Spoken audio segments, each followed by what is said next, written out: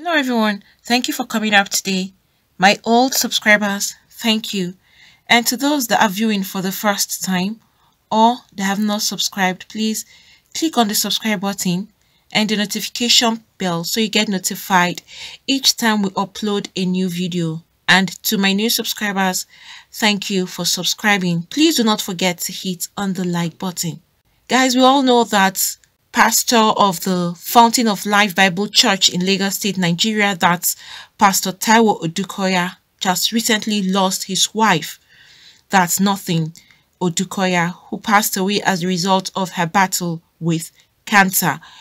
As we speak right now, the funeral ceremony of the late Nomthi Odukoya, that's wife of the senior pastor, is taking place right now in Lagos State, Nigeria and sadly to know that she also died in the UK. That was on November 9th, 2021.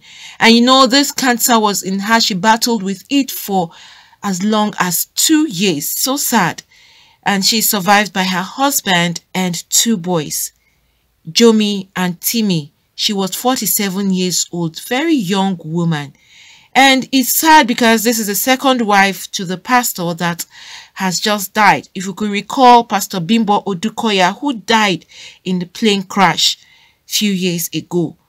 She also had kids for the pastor, and now his second wife, sadly enough to hear again that she has passed.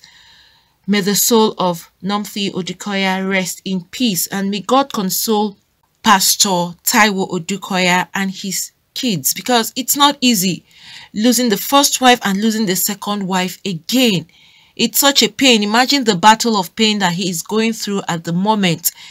I'm sure he thought that himself and Nomthi would have stayed for a very long time, but unfortunately, that did not happen. It's always happy to see that you, as a couple, live long as you've always planned and prayed for. But circumstances of life doesn't permit that to happen. And you know, one thing with cancer, it only takes the grace of God for people to beat cancer. Some people have been able to beat cancer and they are cancer survivors today. But unfortunately, some people, the cancer has eaten so bad that it can't be taken out again. They just live with it until it is time for them to go. It's such a pain that this woman suffered like this with this cancer and died. And these are the pictures from the funeral that's ongoing at the moment.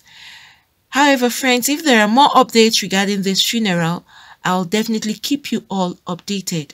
Once again, may the soul of Pastor Nomthi Odukoya rest in peace with the Lord.